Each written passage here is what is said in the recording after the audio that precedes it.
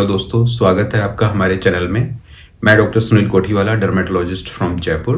तो दोस्तों, आज इस वीडियो में हम बात करेंगे स्किन में होने वाले एक कॉमन इन्फेक्शन के बारे में हर्पीज इन्फेक्शन इसको हर्पीज कहते हैं हर्पीज सिंप्लेक्स कहते हैं, और फिर इसके बाद में जिस जगह पर हर्पीज इन्फेक्शन होता है, उस जगह के हिसाब से नाम हो जाता है कई बार। अगर होटो पर हो रहा है तो हर्पीज लेबियलिस बोल देते हैं। अगर जेनाइटल पर हो रहा है तो हर्पीज जेनाइटलिस बोल देते हैं, या जेनाइटल हर्पीज बोलते हैं। तो हर्पीज एक वायरस से होने वाला इन्फेक्शन है और बहुत ही कॉमन इन्फेक्शन है। ये माना जाता है कि अक्सर एक आदमी को अपने पूरे लाइफ स्पैन में एक न एक बार या एक से ज़्यादा बार हर्पीज इन्फेक्शन हो ही जाता है। हर्पीज इन्फेक्शन को सिंपल लैंग्वेज में कोल्ड सोर भी कहा जाता है, या फीवर ब्लिस्टर्स भी कहा जाता है। फीवर ब्लिस्टर कहने के पीछे कारण इतना है कि कोई भी फेब्राइल इलनेस होती है, किसी भी कारण से अगर फीवर हो रहा है तो ये उस फीवर के बाद में जनरली हर्पीज के जो निशान है, वो देखने को मिलते हैं। तो लोग ये समझते हैं कि बुखार की वजह से हो गया बट ये होता हर्पीज इन्फेक्शन है।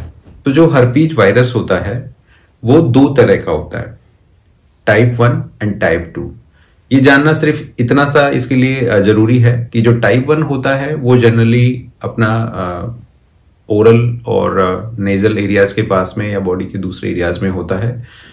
और जो टाइप टू है वो स्पेसिफिकली एनोजेनेटल एरिया पे होता है। लेकिन रेयरली ये जो टाइप हैं वो अलग दूसरी जगह पर भी क्रॉस जो इनकी साइट्स हैं उन पर भी इन्फेक्शन कर सकते हैं। यानी टाइप टू uh, मुँह के आसपास वाली जगह पर इन्फेक्शन कर सकता है और टाइप वन रेयरली जेनाइटल पर भी कर सकता है। तो दोस्तों, ये जो हर्पीज वायरस है, ये एक बार इन्फेक्शन कर देता है अगर स्किन में। तो उसके बाद में ये फिर अपने स्पाइनल जो नर्व्स होती हैं, उनमें एक लेटेंट कंडीशन में, यानी एक सुसुप्त अवस्था में चला जाता है for the rest of life तो वहाँ से इसको इरिडिकेट करना मुश्किल होता है, इसलिए इसके रिकरेंट होने के चांसेस बहुत ज़्यादा होते हैं। तो जब कभी भी बॉडी फिर इम्यूनो कॉम्प्रोमाइज होती है, किसी भी वजह से स्ट्रेस पे होती है तो फिर ये वहाँ से उन स्पाइनल नर्व्स के थ्रू वापस स्किन में ट्रेवल करता है, वहाँ पर अपना नंबर इंक्रीज करता है मल्टीप्लाई करता है और दोबारा से फिर से लक्षण दिखा देता है। तो जब हर्पीज इन्फेक्शन पहली बार होता है, उसको प्राइमरी एपिसोड बोलते हैं और उसके बाद होने वाले एपिसोड्स को सेकेंडरी एपिसोड्स बोला जाता है। अब हर्पीज इन्फेक्शन होता किन लोगों में ज़्यादा है? तो यंग चिल्ड्रंस में, जहाँ पर हाइजीन का प्रॉपर ध्यान रखना थोड़ा मुश्किल रहता है। तो किड्स में यंग चिल्ड्रन में या फिर इम्यूनो कॉम्प्रोमाइज पर्सन में पीपल जो ओवर क्राउडेड एरियाज़ पर वर्क करते हैं या जिनका ओवर क्राउडेड एरियाज़ से एक्सपोजर होता रहता है, उन लोगों में हर्पीज इन्फेक्शन ज़्यादा होता है। और और जो टाइप टू हर्पीज वायरस है, वो आफ्टर प्यूबर्टी ज़्यादा होता है सेक्सुअली ट्रांसमिटेड डिजीजेस में आता है जेनेटल हर्पीज तो इंटरकोर्स से अनप्रोटेक्टेड इंटरकोर्स की वजह से ऐसा हो सकता है। तो दोस्तों, ये लगता कैसे है? मतलब आप किसी पर्सन को जिसको हर्पीज है एनवायरमेंट में कहीं भी कहीं भी आप घूम रहे हैं, फिर रहे हैं, पार्क में बैठे हैं, होटल गए हैं, या स्विमिंग पूल गए हैं, या कोई over crowded area gym area है, शादी बाज समारोह पार्टी वगैरह है तो इन जगह पर किसी भी पर्सन को जिसको हर्पीज हो रखा है, उससे डायरेक्ट या इनडायरेक्ट कांटेक्ट में आते हैं तो ये वायरस ट्रांसमिट हो सकता है। देन उसके बाद में दो से बारह दिन में लेकर के इसका जो एक नॉर्मल इंक्यूबेशन पीरियड रहता है, जिसमें ये अपने पर नए पर्सन में जाकर के अपने नंबर को इंक्रीज करेगा और फिर वहाँ पर डिज़ीज़ क्रिएट करेगा, लक्षण दिखाएगा तो उसमें लगभग दो से बारह दिन का समय लग जाता है। और कई बार ऐसा भी होता है कि एक बार आपको अगर हो गया और आपने अगर उसको इनिशियली आपको पता नहीं चला और आपने उसको स्क्रैच कर दिया अपने हाथ से किसी से तो वो फिर उस आसपास के एरिया में भी स्प्रेड हो सकता है। अब जो क्लिनिकल फीचर्स होते हैं या मुख्य जो लक्षण होते हैं, उसमें ये मान के चलिए कि जैसे आपको अगर हर पीच पहली बार हो रहा है तो पहली बार जब ये हर पीच होता है तो उसमें लक्षण थोड़े से सीवियर होते हैं। जो प्राइमरी एपिसोड होता है, वो सीवियर होता है। कभी कभार रेयरली पता नहीं चलता माइल्ड एसिम्टोमेटिक केसेस भी हो सकते हैं। पर ज़्यादातर समय जब होता है तो तीन, चार दिन पहले आपको उस एरिया में इरिटेशन फील हो सकता है इचिंग फील हो सकती है बर्निंग सेंसेशन फील हो सकता है। देन उसके बाद में थोड़ा रेडनेस आ सकता है। रेडनेस आने की 24 फोर आवर्स के अंदर आपको वहाँ पर छोटे छोटे दाने दिख सकते हैं। वो दाने अपनी आकार में भी वृद्धि करते हैं, अपने आकार को बढ़ाते हैं टाइम के साथ में और संख्या भी बढ़ा सकते हैं। पर इनकी एक करेक्टरिस्टिक फीचर यही होती है कि जो दाने होते हैं वो ग्रुप्ड में होते हैं। जो बिल्कुल पास पास एक दूसरे के पास पास सटे से होते हैं और इनके अंदर बिल्कुल वाटरी फ्लूड भरा रहता है। इनको ब्लिस्टर्स कहा जाता है। तो लोकलाइज्ड ग्रुप्ड ब्लिस्टर्स ये इसका एक मुख्य लक्षण होता है। अब एक बार पूरे निशान बनने के बाद में उनमें आपको खुजली रह सकती है, उनमें आपको दर्द हो सकता है, उनमें आपको जलन हो सकती है। कभी कभार वो ऊपरी तरफ़ से बैक्टीरियल इन्फेक्शन से इन्फेक्टेड होकर के उनमें पस भी फॉर्म हो सकता है। और ऐसा तब होता है जब आप उनका उनकी साफ़ सफ़ाई में उस जगह की साफ़ सफ़ाई में कमी रखते हैं, अच्छे से उसका ध्यान नहीं रखते हैं। तो जो प्राइमरी एपिसोड एपिसोड होता है, वो थोड़ा सा लॉन्ग लास्टिंग होता है। मतलब वो usually seven ten fifteen twenty days तक भी जा सकता है। कभी कभार कुछ ऐसे साइट्स पर होता है, वहाँ पर वो बहुत इन्फ्लेमेशन क्रिएट कर सकता है, सूजन आ सकती है, आँख के आसपास, नाक के आसपास। तो थोड़ा सा ज़्यादा लॉन्ग लास्टिंग हो सकता है। अब एक बार हो गया टेन टू फिफ्टीन डेज़ में ट्वेंटी डेज़ में फिर ये वापस सेटल भी हो जाता है। लेकिन उसके बाद अगर आपने इस टाइम पर ट्रीटमेंट नहीं लिया तो सेकेंडरी या रिकरेंट एपिसोड्स होने के चांसेस थोड़े से ज़्यादा रहते हैं। तो सेकेंडरी एपिसोड्स में और प्राइमरी एपिसोड्स में डिफरेंस ये है कि सेकेंडरी एपिसोड्स थोड़े से लेस सीवियर होते हैं, यानी पहले की तुलना में थोड़े कम होते हैं। थोड़े जल्दी सेटल हो जाते हैं, यानी पाँच से सात दिन, दस दिन के अंदर पूरा खत्म भी हो सकता है एपिसोड होकर के। और जो लक्षण थे, जो प्री हर्पेटिक जो लक्षण है हर्पीज होने से पहले वाले, यानी बर्निंग सेंसेशन इचिंग या पेन वो लक्षण भी ज़रूरी नहीं कि हमेशा प्रेजेंट हो। और इसी वजह से सेकेंडरी एपिसोड्स की कम सीवियरिटी की वजह से लोग इसको इग्नोर करने लगते हैं। फिर लोगों को ये लगता है कि बुखार आया था, इसलिए हो गया, ये तो नॉर्मल है। या शादी ब्याह में गए थे, वहाँ किसी की झूठी चम्मच खा ली होगी, या फिर किसी ने मेरी प्लेट से खाना खा लिया होगा, इसलिए हो गया होगा, है ना? तो ये ठीक हो जाएगा। तो बहुत बार ऐसा होता है कि पेशेंट किसी और चीज़ के लिए दिखाने आता है, लेकिन उसको साथ में हरपीज हो रखा होता है एंड उसको बिल्कुल भी फ़र्क नहीं पड़ता है कि हाँ ये हरपीज है और इसके लिए ट्रीटमेंट चाहिए। तो इसी वजह से, क्योंकि जो सेकेंडरी एपिसोड्स होते हैं, उसको भी पता लग जाता है कि हाँ ये अभी आज हुआ है, तीन से पाँच दिन, सात दिन में ये वापस चला भी जाएगा बिना दवाई किए। लेकिन ये जितनी मरतबा होता जाता है रिकरेंट एपिसोड उतने ही इसके जो चांसेस हैं, जो होने के जो प्रवृत्ति है, वो फास्ट भी हो सकती है। कई बार ऐसा होता है कि शुरू में पेशेंट बोलते हैं, पहले तो ये साल में एक दो बार ही होता था, अब ये साल में छह बार होने लगा है, दस बार होने लगा है, अब तो हर महीने ही हो जाता है।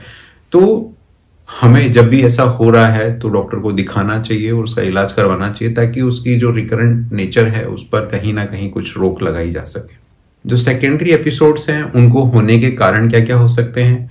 उसमें फिर आपको कोई और दूसरी डिज़ीज़ हुई है, या फिर जैसे upper respiratory upper respiratory tract infection you हुआ है, या कि आप किसी सर्जरी के थ्रू गुजरे हैं हॉस्पिटल स्टे हुआ है, कोई इमोशनल स्ट्रेस वाला इवेंट हुआ है, या फिर सस्पेक्टेड पर्सन के साथ कांटेक्ट में आए हैं, या फिर आप किसी ऐसी परेशानी से गुजर रहे हैं जहाँ पर आपकी इम्यूनिटी कॉम्प्रोमाइज हुई हो।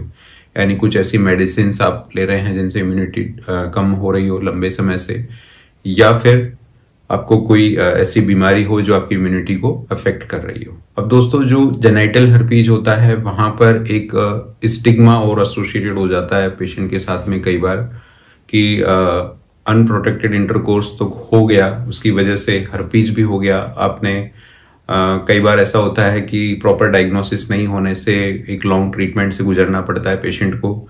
तो एक वो मेंटली थोड़ा सा स्ट्रेस हो जाता है उसमें और कई बार हमने देखा है कि एक बार हरपीज होने के बाद कई मरतबा पेशेंट सालों भर तक उस इवेंट को भुला नहीं पाते। उसमें ये होता है कि सब लीजन हील हो जाते हैं, सब कुछ ठीक हो जाता है, उसके बाद भी पेशेंट को ये लगता रहता है कि नहीं, मेरे निशान अभी तक ठीक नहीं हुए, मुझे कुछ प्रॉब्लम है।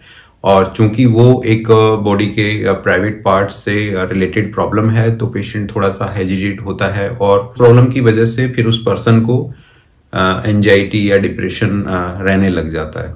दोस्तों, बात करते हैं इसके डायग्नोसिस की।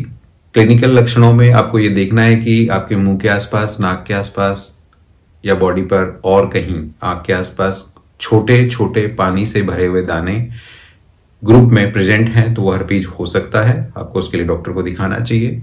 बॉडी के बाकी एरियाज़ पर इसका अरेंजमेंट जो है, वो राउंड शेप में ना होकर के लीनियर भी हो सकता है, लाइन की फॉर्म में भी हो सकता है। उस टाइम पर ये फिर हर्पीज रोस्टर को कंफ्यूज कर सकता है तो डॉक्टर को विज़िट करना चाहिए। तो ज़्यादातर समय डॉक्टर इसको देखकर पहचान लेते हैं। क्लिनिकल डायग्नोसिस होता है। कभी कभार अगर ज़रूरत पड़ती है टेस्ट की तो फिर इसके जो फ्लूड होता है, उससे एक जेंक स्मेयर बनाया जा सकता है। उसको जेंक स्मेयर बोलते हैं क्लिनिक पर। और उसमें कुछ पर्टिकुलर कोशिकाएँ होती हैं, उसको डॉक्टर चेक करता है। या फिर इसके जो भी स्वैब लेकर के इसके फ्लूड से उसका पीसीआर टेस्ट किया जा सकता है, या फिर कल्चर किया जा सकता है। लेकिन ये जो पीसीआर कल्चर, ये बहुत ही रेयरली काम में आने वाले डायग्नोस्टिक टेस्ट होते हैं हर पीज में। ज़्यादातर समय क्लिनिकल और या फिर जेंक स्मेयर से। इसका डायग्नोसिस हो जाता है। अब बात करते हैं दोस्तों ट्रीटमेंट के बारे में। तो थ्योरेटिकली साइंस ये कहती है कि अगर एपिसोड माइल्ड है और एसिम्टमेटिक है तो उसको ट्रीट करने की ज़रूरत नहीं है। उसको आप छोड़ सकते हो। लेकिन अगर एपिसोड मॉडरेट है या सीवियर है तो फिर उसके लिए ट्रीटमेंट चाहिए। पर दोस्तों होता क्या है कि सपोज़ आपको पहली बार हरपीज हुआ और चलो मान लेते हैं कि वो माइल्ड भी हुआ, आपको कुछ ही निशान बने। तो कई बार क्या होता है कि जो इसके लिए जो इम्यूनिटी डेवलप होती है, वो भी इतनी परमानेंट नहीं होती है कि वो इसको लाइफ टाइम आपको प्रोटेक्शन दे सके। तो बेटर यही होता है कि आपको अगर ऐसा कुछ लक्षण दिखता है तो आप उसको डॉक्टर को दिखा के ट्रीटमेंट ले लीजिए। ट्रीटमेंट बहुत ही शॉर्ट होता है, इसमें सेवन डेज़ के लिए एंटीवायरल ड्रग्स दी जाती हैं। कभी कभार पाँच दिन से भी कुछ दवाइयों में पाँच दिन से भी काम हो जाता है। सिंगल टेबलेट होती है एंटीवायरल और कभी कभार ऐसा होता है कि कुछ क्रीम्स भी आती हैं, लेकिन क्रीम्स बहुत ज़्यादा इफ़ेक्टिव नहीं होती। हाँ है कि क्रीम्स के उपयोग से आप इसकी एपिसोड की ड्यूरेशन को थोड़ा कम कर सकते हो, पर वो भी तब जब आपको उसको पहले दिन से स्टार्ट करो। अब सेकेंडरी एपिसोड्स में क्या करना होता है? सपोज़ आपको अब वेल नोन है हरपीज के लिए और आपको पता है कि दिस इज़ हरपीज ये मेरे को हो गया है और डॉक्टर ने मेरे को ये प्रिस्क्रिप्शन दिया हुआ है और मुझे ये मेडिसिन हर बार प्रिस्क्राइब की जाती है। तो कोशिश करें कि जब ये आपको हो रहा है तो आप उसको फ़र्स्ट डे से ही मेडिसिन को स्टार्ट करें ताकि ये जल्दी सेटल हो जाए और जितना जल्दी ट्रीटमेंट स्टार्ट किया जाता है, उतना ही इसके वापस होने का चांसेस कम हो जाता है। दोस्तों, जब ये साल में छह बार से ज़्यादा होता है तो फिर इसका ट्रीटमेंट कंटिन्यूस एंटीवायरल थेरेपी से किया जाता है, जिसको सप्रेसिव थेरेपी कहा जाता है। तो उसमें फिर डॉक्टर की देखरेख में आपको एंटीवायरल मेडिसिन को थोड़ा सा लंबे समय के लिए लेना होता है। वो डॉक्टर डिसाइड करता है कि कितने दिन पेशेंट को वो दवाई खिलानी है और कितने दिन बाद उसको बंद करके चेक करना है। अगर इसके कॉम्प्लिकेशंस के बारे में बात करें तो अगर हरपीज इन्फेक्शन वैसे तो सेल्फ लिमिटिंग ठीक है, पंद्रह से बीस दिन में पूरा एपिसोड खत्म हो जाता है इसका, लेकिन कभी कभार इसकी सीवियरिटी ज़्यादा हो सकती है। तो फिर ये आपके जिस एरिया के आसपास हो रहा है, वहाँ पर स्कारिंग कर सकता है। वहाँ जैसे होटो पर होता है तो वहाँ पर कई लोगों को व्हाइट स्पॉट्स हो जाते हैं हरपीज इन्फेक्शन के बाद में, या और बाकी जगह पर स्कारिंग हो सकती है हल्की फुल्की और एक लॉन्ग टाइम के लिए burning sensation tingling sensation feel हो सकता है कई बार। कभी कभी ये स्किन से अंदर के ऑर्गन्स में भी हो सकता है तो वहाँ पर फिर ये आई की म्यूकोजा को इन्वॉल्व कर सकता है, नाक की म्यूकोजा को इन्वॉल्व कर सकता है, गले को इन्वॉल्व कर सकता है तो इन्फेक्शन फिर आगे स्प्रेड हो सकता है। और कभी कभार फिर ये नर्वस सिस्टम को भी, आपके ब्रेन को भी इन्वॉल्व कर सकता है। और वैसे होने को ये लोकलाइज्ड है, लेकिन कभी कभी अगर इसको मौका मिलता है तो ये पूरे शरीर पर भी फैल सकता है। चमड़ी की दूसरी बीमारियाँ जैसे कुछ एक्जेमा हो गया या पेम्फिगस हो गया उनके घावों को ये इन्फेक्ट कर सकता है? पूरे शरीर पर छाले हो सकते हैं। अब दोस्तों, रोकथाम के लिए क्या करें? जितना हो सके उतना अपनी हाइजीन पर फोकस रखना है। ओवर क्राउडेड एरियाज़ में अननेसेसरी सर्फेसेस को टच नहीं करना है। या आपको अगर कंफर्म पता है कि किसी पर्सन को अपने इवन फैमिली में अगर आपको पता है कि इनको हर पीच होता है, चाहे कभी कभार ही होता हो दो तीन साल में एक बार ही तो उस पर्सन के साथ बिलोंगिंग्स है उनकी, उनके साथ कांटेक्ट में नहीं आना है। और जेनेटल हर्पीज के लिए सबसे इंपॉर्टेंट यही है कि अनप्रोटेक्टेड इंटरकोर्स नहीं करना है। वैसे कहने को छोटी डिज़ीज़ है, लेकिन कई मरतबा ऐसे ओकेजन्स पर हर्पीज हो जाता है, या हर्पीज होने के बाद कई बार ऐसा मेंटली पेशेंट स्ट्रेस में चला जाता है कि वो फिर आपके डिज़ीज़ के बर्डन को इंक्रीज करता है।